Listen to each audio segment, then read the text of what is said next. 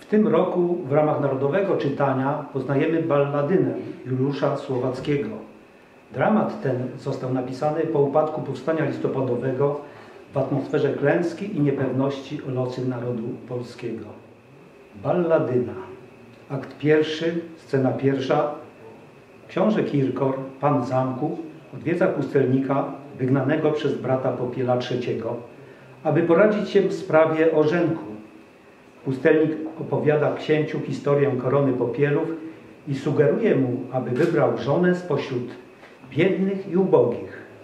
W tej scenie pojawia się również film, pasterz poszukujący idealnej kochanki. Swój ideał znajduje w osobie Aliny. Rady zasięgnąć warto u człowieka, który się kryje w tej zaciszy leśnej. Pobożny starzec ma jednak w rozumie nieco szaleństwa. Ilekroć mu prawisz o zamkach, królach, o królewskich dworach, to jak szalony od rozumu błądzi. Miota przekleństwa, pieni się, narzeka. Musiał od królów doznać wiele złego i z ową został przyjacielem gminu. Puk, puk, puk. Kto tam? Kirkor, Witaj, synu. Czego chcesz? rady. Zostań pustelnikiem. Gdybym podstarzał dziesiątym krzyżykiem, może bym smutne schronił się Dąbrowy. Ale ja, młody pan czterowieżowy, przemyślam dzisiaj, jakby się ożenić. Porać mi starcze. Lat dwadzieścia z górą, jak żyję w puszczy, Cóż stąd? więc ocenić ludzi nie mogę, ani wskazać, którą weźmiesz dziewicę.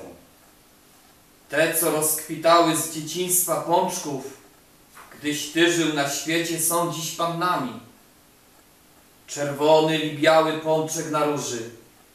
Taka będzie róża. Przypomnij niegdyś najpiękniejsze dziecię. Białą jak w ręku anielskiego stróża kwiat liliowy. Niech jej słowik śpiewny zazdrości głosu a synogarlica wiernością zrówna. Gdzie taka dziewica? Wskaż mi o starcze. Mówią, że królewny słyną wdziękami.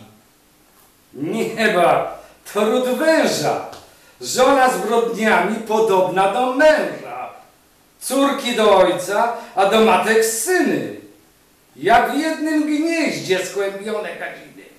O Bóg daj piorun, Nie przeklinaj! młody, przeklinaj ze mną, oni klątwy warci, Bogdaj doznali, co pomor i głody. Bogdaj piorunem na poły pożarci, padając na ziemię paszczą rozdziawioną, proch mieli płaszczem, a węża koroną. Bogdaj! Klnąc zbójce potargałem siły, wściekłem się jako Brytan uwiązany, bo też ja kiedyś byłem pan nad pany. Stutysięcznemu narodowi miły. Żyłem w purpurze, dziś noszę łachmany. Muszę przeklinać. Miałem dziadek troje. Nocą do komad weszli brata zbóje. Różyczki moje trzy złotyki ścięto. Dziedzinki moje w kołyskach zarżnięto. Aniołki moje, wszystkie moje dzieci. Któż jesteś, starcze? Jam król, popiel trzeci. Królu mój! Któż mnie z żebraki rozezna? Uzbrajam chamy i lecę do Gnezna. Mścić się za ciebie. Młodzieńcze, rozwagi. Bezprawie gorzej od Mojżesza plagi kala tę ziemię i prędzej się szerzy. Popiel skalany dzieci krwią niewinną, niegodny rządzić tłumowi rycerzy. Niech więc się stanie, co się stać powinno, pod okiem Boga na tej biednej ziemi. Czy ty skrzydłami anioła złotymi z nieba zleciałeś? Na barkach orlicy para tych białych skrzydeł wyrastała. Gdy na rycerskiej są na ramiennicy, będziesz li rycerz mniej niż owa biała ptaszyna ludziom użyteczny? Mali gadą przepuszczać rycerz uskrzydlony orła piórami? O mężu ze stali, ty jesteś z owych, którzy walą trony. Ty wiesz, jak nasza ziemia wszeteczeństwem króla skalana. Wiesz, jak popiel krwawy pastwi się coraz nowym okrucieństwem. Zaczerwienione krwią widziałem stawy. Król żywi karpie ciałem niewolników. Nieraz wybiera dziesiątego z szyków i tnąc w kawały, ulubionym rybom na żerby rzuca. Resztę ciał wymiata na dworskie pola i czerwonym skibom ziarno powierza. Sąsiad ziemię kata na pośmiewisko z wierusią czerwoną. Dotąd żyjącym podleka koroną Bóg dawał żniwo szczęścia niezasiane. Lud żył szczęśliwy. Dzisiaj niesłychane pomory. Głody sypie Boża ręka. Ziemia upałem wysuszona pęka. Wiosenne runa złocą się nim ziarno czoła pochyli. A wieśniacy garną sierpami próżne tylko włosy żyta. Ta sama Polska, niegdyś tak obfita, staje się co rok szarańczy szpichlerzem. Niegdyś tak bitna, dziś bladym rycerzem z głodami walczy i z widmem zarazy. Ach, jam przeklęty, przeklęty, trzy razy przeklęty. Winienem jestem nieszczęść ludu. Jako tyś winien? Z rozlicznego cudu korona Lecha sławną niegdyś była. W niej szczęście ludu, w niej krainy siła cudem zamknięta. Oto ja wygnany, lud pozbawiłem tej korony.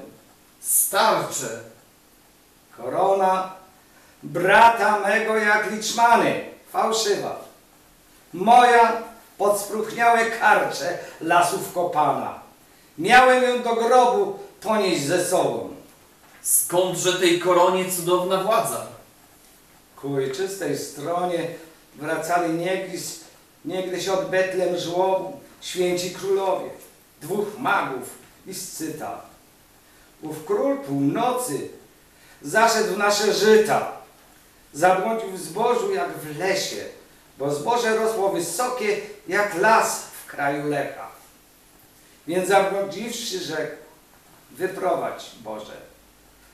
Aż oto przed nim odkrywa się strzecha królewskiej chaty. Bo Lech mieszkał w chacie. Wszedł do niej scyta i rzekł, królu, bracie, idę z Betlejem, a gwiazda błękitna twoich bławatków ciągle szła przede mną, aż tu zawiodła. Lech rzekł, zostań ze mną, kraina moja szczęśliwa i bitna. Jeśli chcesz, to się z tą ziemią z tobą dzielę na poły. Scyta rzekł, zostanę. Lecz kraju nie chcę, bo ziemie złamane rozgraniczają się krwią i żałobą. Dzieci i matek, więc razem zostali, ale to długa powieść. Mów, mów dalej. Więc jako dawniej czynili mocarze, z Lechem się mieniał Scyta na obrączki, a pokochawszy, pokochawszy mocniej serce, w darze dał mu koronę. Stąd nasza korona. Zbawiciel niegdyś, wyciągając rączki, szedł ku niej z matki zadumanej łona i ku robinom podawał się cały, jako różyczka z liści wychylowa i wołał caca na brylant biały, różanych chustek perłami, perełkami świecił. O, biedny kwiatku, na toż ty się kwiecił, by cię na krzyżu ćwiekami przybito? Czemuż nie było mnie tam na Golgocie, na czarnym koniu z uzbrojoną świtą? Zbawiłbym zbawcę lub wyrąbał krocie zbójców na zemstę umarłemu. Synu, Bóg weźmie tą pochopność do czynu za czyn spełniony. Wróćmy w nasze czasy. Gdy mnie brat wygnał, uniosłem w te lasy świętą koronę. Wróci ona, wróci. Przysięgam tobie, lecz Co chcesz powiadać?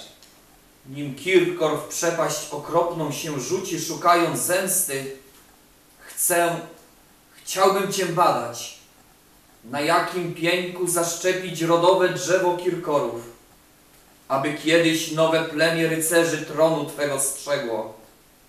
Kogo wprowadzić w podwoje zamkowe z żony imieniem?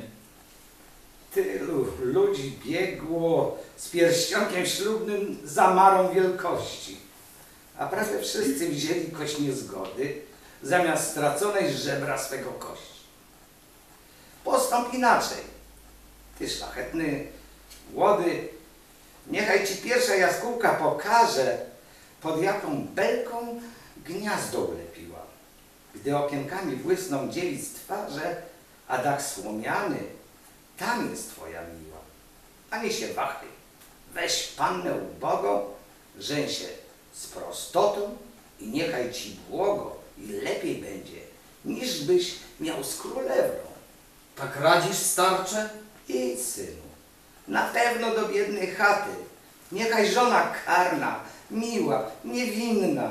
Jaskółeczko czarna, ptaszyno moja, gdzie mię zaprowadzisz? Słuchaj mnie, synu. Starcze, dobrze radzisz. Prowadź, jaskółko. O, ci młodzi ludzie odchodzą od nas i wołają głośno. Idziemy szukać szczęścia. Więc my, starce, cośmy przebiegli po tej biednej ziemi, a nigdy szczęścia w życiu nie spotkali. Możeśmy tylko szukać nie umieli. Idź, idź, idź, starcze, do pustej celi. O złote słońce, drzewa ukochane, o ty strumieniu, który po kamykach z płaczącym szumem toczysz fale szklane, rozmiłowane w wieńczących słowikach, róże wiosenne, z wami Filon skona, bo Filon marzył los Endymiliona. Marzył, że kiedyś po blasku miesiąca biała bogini różami wieńczona z niebios błękitnych przypłynie jej drżąca czoło pochyli, a koralowymi ustami usta moje rozpłomieni. Ach, tak marzyłem, ale na tej ziemi nie ma Dianny. Samotny uwiędnę, jako fiołek albo kwiat jesieni. Cóż, znaczą te owe narzekania zrzędne. Młody szaleńcze, gdzie zimny rozsądek? Wywracasz świata boskiego porządek. A że ty chciwy Akteona wanien, czekać na ziemi anielskiego bóstwa. Dlatego tyle zestarzałych panien dotąd się mężów swych nie doczekały. Szukaj kochanki na ziemi. Świat cały, na próżno zbiegłem, przeglądając mnóstwa dziewic śmiertelnych, nieraz wzrok łakomy śledził spod złotej kapeluszów słomy żniwiarek twarze, podobnie czerwienię makiem zbożowym. Nieraz e, poglądem na białe płótna, jako jesienią zieloną, słońcu podane, rojąc serca szałem, że z białych płócien, jako z morskiej piany, alabastrowa miłości bogini wyjdzie na słońce. Ach, tak obłąkany, żyłem na świecie jako na pustyni. Nienasycony, dumający, rzewny, byłem na dworach, widziałem królewny, podobny gwiezd, gwiezdne Wenus, co wynika wieczorem z nieba różowego zorzą, zaczerwieniona, ale promyka. Serca nie mają, a sercem się drożą. Więcej niż korona brylantami. Głupcze, niedościgniony gwiazd szalony kupcze. Ty, co na dworach szukałeś kochanki, precz, precz ode mnie, kwiecie beznasienny, studnią niezdatny, jak stłuczone dzbanki. Światowi, jako słońca blask jesienny, bezużyteczny. Skoro na tron wrócę, zamknę cię w szpital szalonych lub rzucę na bakalarską ławę między dzieci. Mój dobry ojcze, niechaj ci Bóg świeci. Musisz być chory, gadasz nieprzytomnie. Wszyscy szaleńcy zlatują do mnie, a wszyscy marzą o królewskich dworach. Myślą o królach, a kryją się w borach. I jęczą, jęczą jako ślepłe sowy. Wsadź starcze głowę w strumień kryształowy, może ochłonie. Woda nie obmyje na moim czole czerwonego pasa. Widzisz, czy widzisz, jaki korona ryje? Dwudziestoletnie życie w głębi lasu nie zagoiło rany. Pas na czole, a drugi taki pas mi serce płata. Ten od korony, ten od mieczów kata. O moje dzieci, o sieroctwo bole, o moja przeszłość. Nudzi mnie ten stary. W głowie ma jakieś bezcielesne mary. Pewnie oszalał samotnością postem. Cierpienie myśli jest kolącym mostem. Lecz rzeczywistość, o, ta jak żelazo, rani, zabija. O tym inną razą. Mówić będziemy, a przekonam ciebie, że smutek serca Niechaj cię pogrzebie, mdława istoto. Nic śnieg, nic zabije, a twój grobowiec zamknie nic. O luba, nieznaleziony twój obraz użyję. Nieznalezienie gorsze niż by zguba. Jam cię nie znalazł, a widzę przed sobą. Idę do lasu, gdzie będę sam z tobą. Błogosławiony wyobraźni cudze, ty mnie ocalasz. Jak szaleją ludzie.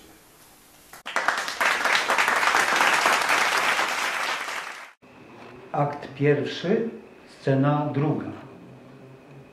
Koplana, pani jeziora Kopło, zakochana w gburowatym grabcu, dowiaduje się, że jej wybrany spotyka się z balladynem. Aby pozbyć się rywalki, nakazuje swoim duszkom, Skierce i Chochlikowi, zaprowadzić księcia Kirkora do domu wdowy i rozkochać go w dziewczynie. Gdzie jest Goplana, nasza królowa? Śpi jeszcze w gople. I woń sosnowa i woń wiosenna nie obudziła królowej naszej? Woń taka miła. Czyliż nie słyszy, jak skrzydełkami czarne jaskółki biją w jezioro? Także się całe zwierciadło plami w tysiące krążków? Zanadto skoro zbudzi się jędza i będzie do pracy nas zaprzęgać, to w puste żołędzie wkładać jaja motylic, dopomagać mrówkom, budującym stolice i drogi umiatać, do mrównika wiodące, to majowym krówkom rozwiązywać pancerze, aby mogły latać, to, zwie, to zwiedzać pszczelne ule z otwartej księgi czytać prawa ulowe lub rotę przycięgi. Na wierność matce pszczelnej, o zrodzonej pszczółki, to na trzcinę jeziora zdobywać jaskółki i uczyć budownictwa pierworo, pierworoczne matki, już zamykać zwiane y, na, na przynęta klatki, nim jaki biedny ptaszek uwięźnie w zapadni, na przekór ptasznikowi już to pani sroce. Ciągle trąbić do ucha naukę, nie kradnij. Albo wróblowi wmawiać, że pięknie świegoce, aby ciągle światowad nad wieśniaczą chatą. Pracuj jak koń pogański, pracuj całe lato, a zimą śpi u chłopa za brudnym przypieckiem, między garnkami, babą, szczerbatą i dzieckiem. Bo też ty jesteś leniwy, chochliku. A patrz, na słońca promyku wytryska z wody Goplana, jak powiewny liść ajeru, lekko wiatrem kołysana, jak łabędź, kiedy rozwinie uśnieżony żagiel steru. Kołysze się, waha, płynie. I patrz, patrz, lekka i gibka, skoczyła z wody jak rybka, na neza, warkoczu, wiesza się za białe rączki, aż stopą po fal przezroczu. Brylantowe iskry skrzesza, ach czerwoną, Któż odgadnie, co się trzyma z falą obrączki? Czy się na powietrzu kładnie, czy dłonią na kwiatach się wiesza?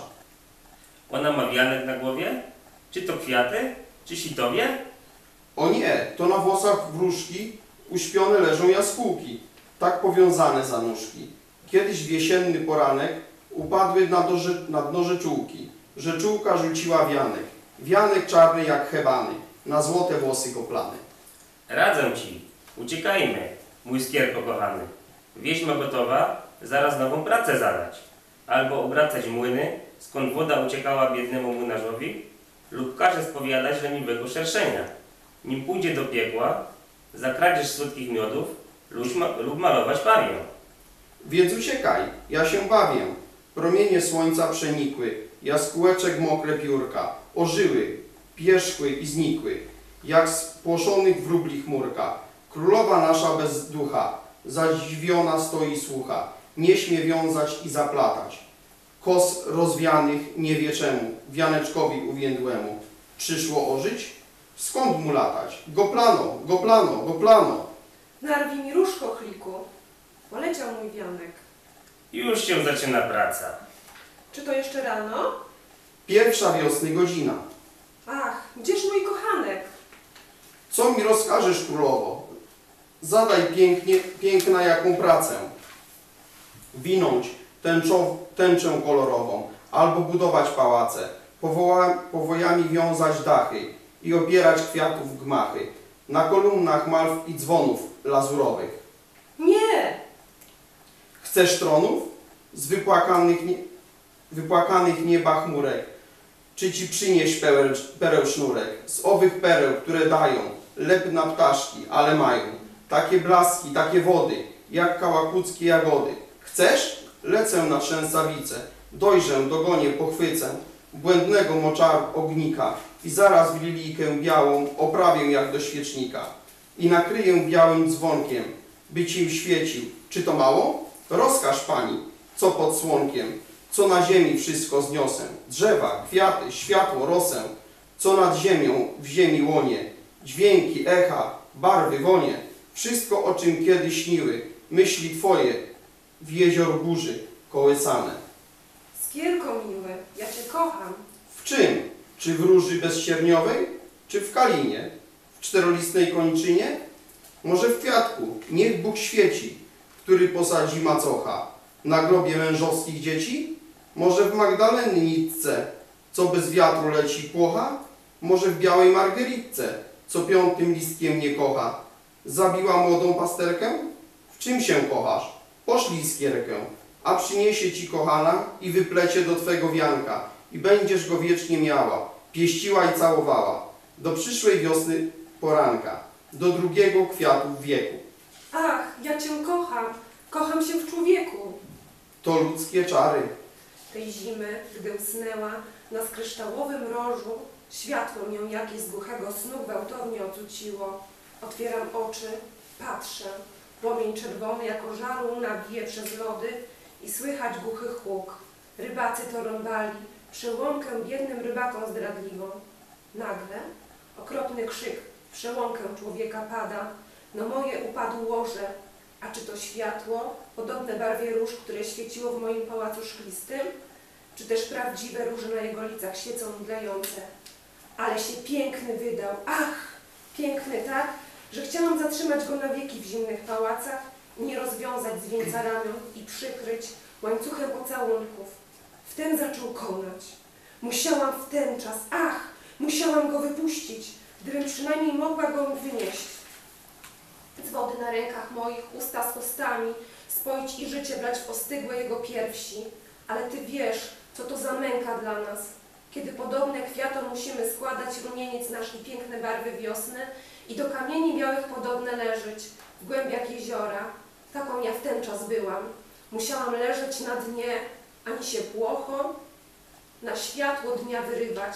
Na pół martwego wyniosłam drżącą rzeką i przez otwory w lodzie wybitym rzucam. Sama boleśnie wracam przez puste łoże, na zimne łoże, a serce moje rozdarł okrzyk rybaków, którzy witali w ten czas, gdy ja żegnałam. Jakżem czekała wiosny, przyszła nareszcie. Z miłością w moim sercu budzę się, kwiaty, to nic przy jego licach, kwiaty gasną, przy jego jasnych oczach. Ach, kocham, kocham! Ktoś idzie tutaj lasem. To on, to on, mój miły, bądź niewidocznym skierką. Ach, cóż to za panna? Ma twarz, nogi, żołądek, lecz coś niby szklanna. Co za dziwne stworzenie z mgły i galarety. Są ludzie, co smak czują do takiej kobiety. Ja widzę coś rybiego w tej dziwnej osobie.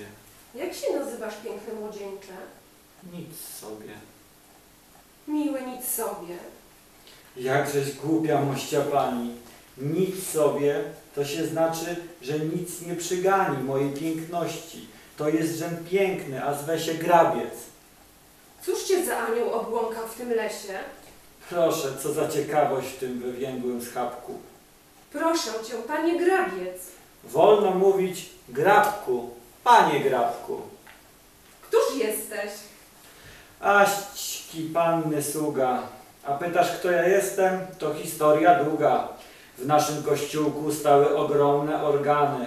Mój tata grał na dudach, pięknie grywał pijany, ale kiedy na trzeźwo okropnie rzępolił. Do tego był bałwiarzem i wieś całą golił. Golił i grał na dudach, bo golił w sobotę. Na dudach grał w niedzielę, a miał taką cnotę, że nie pił, kiedy golił, a pił, kiedy grywał. I wszystko szło jak spłatka. Wtem kogut zaśpiewał i mój ojciec małżeństwem z żoną los zespolił. Panna młoda wąs miała, ojciec wąs ogolił.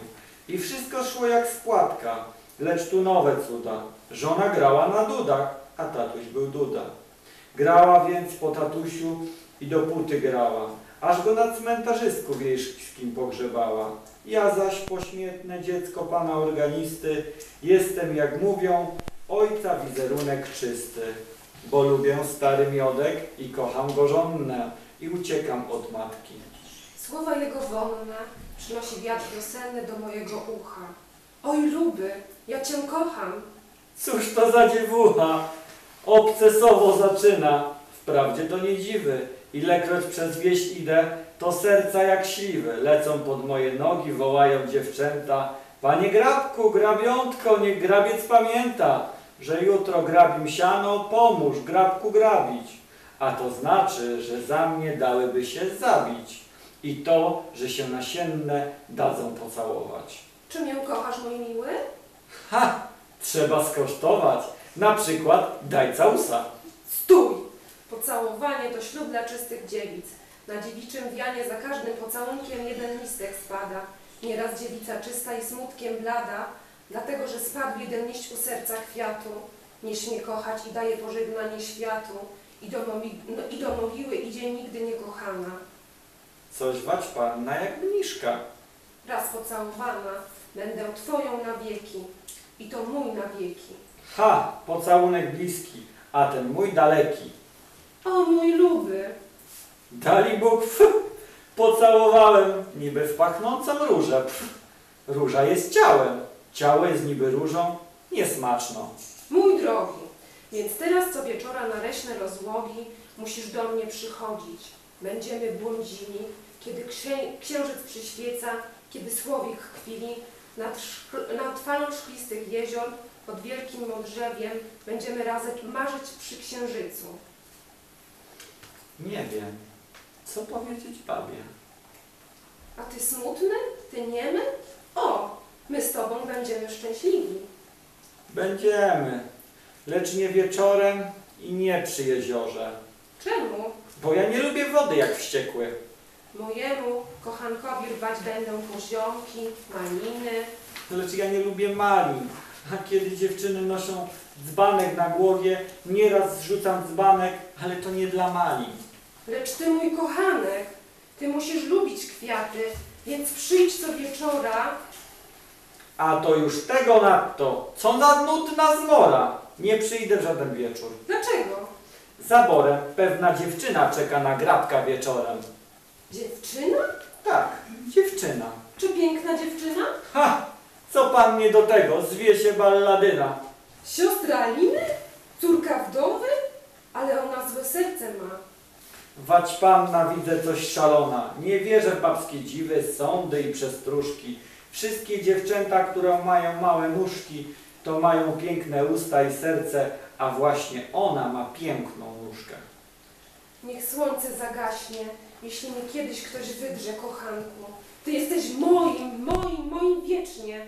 Choćbyś miał księżyc za ślubny pierścionek, choćbyś miał księżyc, to ja go rozłamię. Zagaszę księżyc, który cię prowadzi do pocałunków, do kochanki domu. Ach, bądź mi wiernym, błagam cię, zaklinam. na twoje własne szczęście. Ach, zaklinam, bo zginiesz luby. Nie, razem zginiemy, ale ty zginiesz także, gdy ja zginę. Więc nie chcę zginąć, abyś ty nie zginął. Przynajmniej dzisiaj nie chodź tam wieczorem. Przynajmniej dzisiaj nie chodź tam. Ja każę. A któż ty jesteś? Co każesz? Królowa, królowa Faligoplana. Ej, w nogi Jezus Maria, a tą popadł w biedę. Szatana żona chce być moją żoną. Niech słońce gaśnie, niechaj gwiazdy toną w bezdrożne niebo, niechaj róże więdną. Co mi po słońcu, po gwiazdach, po kwiatach, wolę stracić niż kochanka stracić. Co mam potęgi, co najprzyrodniej siły nad światem, to obrońcę na to, aby to serce podbić i mieć moim. Skierko, pochliku, czy słyszałeś, Skierko, moją rozmowę z kochankiem, aniołem? Nie każ, ciekawość, szczera moja skrucha. Biały powój kwiatek uszczy, uszczyknąłem i końcem różka włożywszy do ucha, słyszałem przez kwiat. Gdzie chochlik? Leniwy ciągnie się z wiankiem. A wstydź się, chochliku. Patrz, coś ty nawyrywał chwastu i pokrzywy, brzydkich piorunów, kończyn i trawniku. Pozwól mi pani, niech ja go wysiekę za taki wianek. Ej, ja cię urzekę. Słuchajcie mnie, cicho diabliki. Oto chochło polecisz za moim kochankiem. Idź przy nim, przed nim, za nim, jak skoczne ogniki i błagaj po murawach tak, by przed porankiem nie trafił do mieszkania, ani do tej chaty, gdzie mieszkają dwie piękne dziewczęta, dwa kwiaty, córki w domu, wdowy, rozumiesz, a wschodzie słońca tu miłego przyprowadź. Będę go bez końca łąkał i sadzał w błocie. Ha, ha, ha, ha, ha. A ty, mój skierko, leć na mały mostek, gdzie jest moja mogiła samobójcy stracha. Ukryj się w łozy zarostek. Za godzinę przez ten mostek będzie jechał pan bogaty, ustrojony w złote szaty, jak do ślubu, bez oręży i kareta złotem błyska. I pięć rumaków zaprzęży, czterech karet i klacz biała. Przodem lecąc iskry ciska, a na mostku wypróchniała leży belka drżąca, śliska. Czy rozumiesz? Wywrócić? Lecz nie szkodzić żywym, ani ludziom, ani koniom. A potem? Tego pana w płaszczu złotym, hymnem wiatru czułym, tkliwym, zaprowadzić aż do chaty, gdzie mieszkał Boga wdowa i dwie młode córki chowa. Uczyń tak, by pan bogaty wziął tam żonę i, i we dwoje odjechał złotą karetą. Luby skierko, dziecię moje, Dziewczyna będzie kobietą. Nim dwa razy słońce zaśnie, nim dwa razy księżyc zgaśnie. Więc rozesłałam sylfy, niechaj pracują na moje szczęście. Teraz nie idzie o to, aby wojskami kwiatów zdobywać niby, ale kwiatów strzec mi teraz, nie tęcze winąć, ani słowiki uczyć piosenek, ani budzić jaskółki wodne. Kocham, ginę, a jeśli on mnie kochać nie będzie, cała mgłę się rozpłynę białą i spadnę łzami na, na jaki polny kwiat i w nim uwiędnę.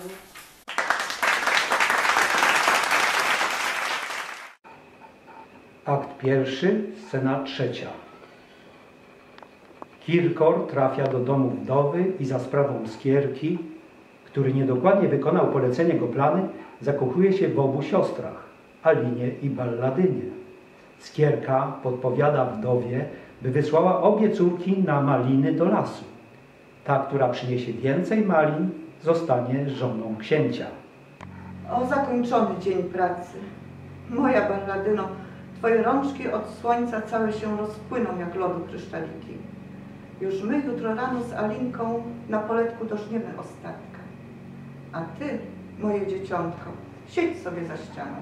Nie, nie, nie, jutro odpoczywa matka, a my z siostrzycą idziemy na żniwo. Słoneczko lubi twoją główkę siwą i leci na nią, by natrętna osa do białych kwiatków, ani go od włosa liściem odpędzić, że też nigdy chmurki Bóg nie nadwieje, aby cię zakryła. O, biedna matko!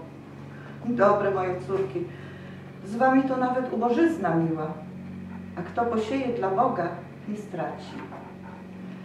Zawsze ja myślę, że wam Bóg zapłaci bogatym mężem. A kto wie, a może już o was słychać na królewskim dworze. A my tu żniemy. Aż tu nagle z boru, jaki królewiec, niech i kuchta dworu, albo koniuszy zajeżdża karetą.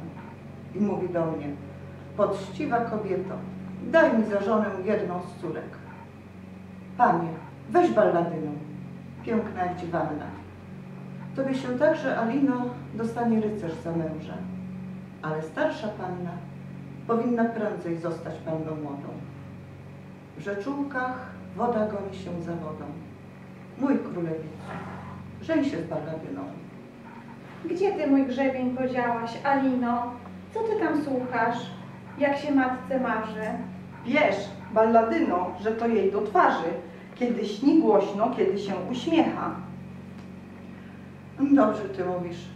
Chata, chata taka licha, a mnie się marzy Bóg wie nieco. Ale Bogu się także w wiekuistej chwale musi coś marzyć. A gdyby też Bogu chciało się matce dać złotego zięcia, Ach, słychać jakiś tarkot na rozłogu. Jedzie gościńcem dwór jakiegoś księcia. Pięć koni, złota kareta. Ach, kto to? Jedzie aleją. Jak to pięknie złoto między drzewami błyska. Ach, mój Boże, co im się stało? Wśród naszego mostu powóz brrr, stanął i ruszyć nie może. pewnie konie chcą napoić. Ot właśnie, pan poi konie na drodze po prostu. Ha, jeśli pić chcą, Już słoneczko gaśnie, trzeba zapalić sosnowe łuczywo. Ach, lampę zaświeć, ach, lampę, co żywo. O, gdzie mój grzebień? cóż to? Co? Ktoś puka? Otwórz, Bladyno. Niech siostra otworzy. Prędzej otwórzcie, ktoś do chaty stuka. Ach, ja się boję. Niech wszelki duch Boży Boga wychwala. Ja odemknę chatę.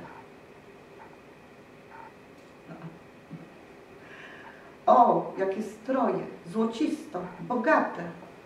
Czy w imię Boga? Tak, z Boga imieniem. Proszę wybaczyć, ale nad strumieniem mostek pod moim załamał się kołem. Szukam schronienia. Proszę poza stołem, mój królewicu. Siadać, proszę siadać. Chata uboga. Zacząłeś powiadać, że powóz. O, to nieszczęście. Dziewczęta to moje córki, jasny królewicu. A to już dawno człowiek nie pamięta takich przypadków. Chyba przy księżycu. Młynarz, co jechał przeszłej wiosny. Dosyć, daj panu mówić. Przed tą chatką słyszałem dźwięki luteń. Czy to córki wasze grywają na lutni? Przepraszam. Nie, królewicu. Z niewidzialnej chmurki sympatycznymi kwiaty poukraszam obie dziewice, bo moja królowa nie powiedziała, do której nakłonić serce kilkora. Muzyka echowa zacznie hymnami powietrznymi dzwonić, a wieniec kwiatów taką, wo- taką woń rozleje, że serce tego człowieka omdleje, że jednym sercem dwa serca pokocha. Może królewic chce odpocząć trochę? Odpocząć? Kiedy dźwięki takie cudne słyszę? Dziewice, wasze są to pieśni, słyszę śpiewanie. Czy się panu nie śni? Tu w chacie? Cicho. Ach, jakże mi nudne wspomnienie zamku pustego. Czar działa. Z jakich kadzideł ta woń się rozlała? To z pewna wasze wieńce, uroszone łzami wieczora dają takie wonie. Lecz my nie mamy wieńcu. Naprawione. Koło w powozie. Wyprząc z dyszla konie, ja tu zostanę. Cóż to za zjawienie? Królewic w chacie. Na jakim on sienie spać będzie? Jemu listki róży cisną.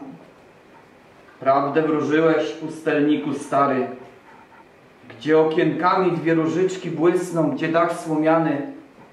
Zakończone czary. Słuchajcie, matko, na świat wyjechałem szukać ubogiej i cnotliwej żony. Dalej nie jadę, bo tu napotkałem cudowne bóstwa. O, gdybym dwa trony, ach powiem raczej, gdybym miał dwa serca. Lecz zdaje mi się, że dwa serca noszę. Dwoma sercami o dwie córki proszę. ale Bóg jedną tylko wziąć pozwala i do ślubnego prowadzić kobierca, więc trzeba wybrać.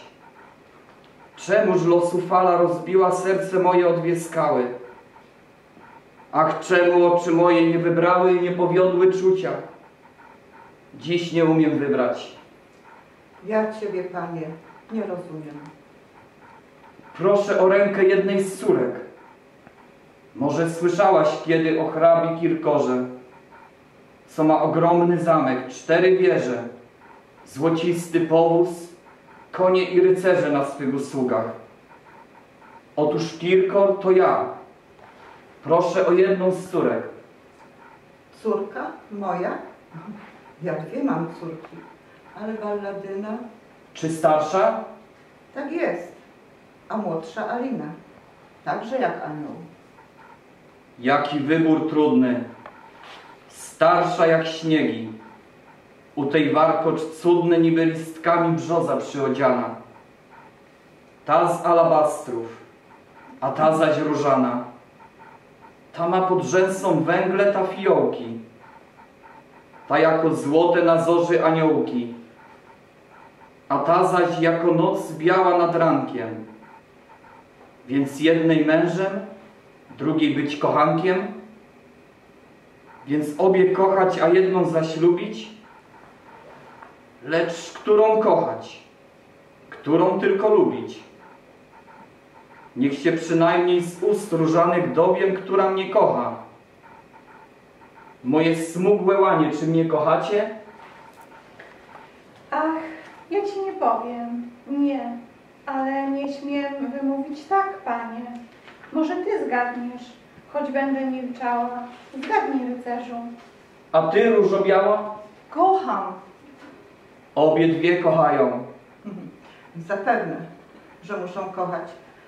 Tożby to dopiero, gdyby nie kochać rycerza, co szczerą mógłby za żonę wziąć sobie królewnę. Piękny i śmiały.